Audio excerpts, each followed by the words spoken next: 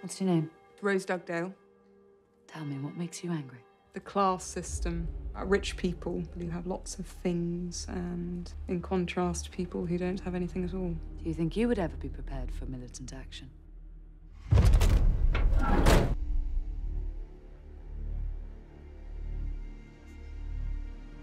Gardaí are looking for four people, three men and a woman.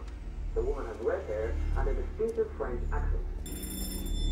I wondered if I could use your phone to call a local garage.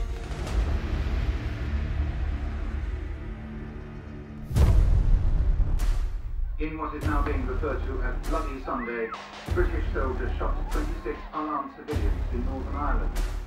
This government has sanctioned internment in our names. We can't sit back and do nothing. We must act. Get down! No! Get on the ground, you capitalist pigs! No!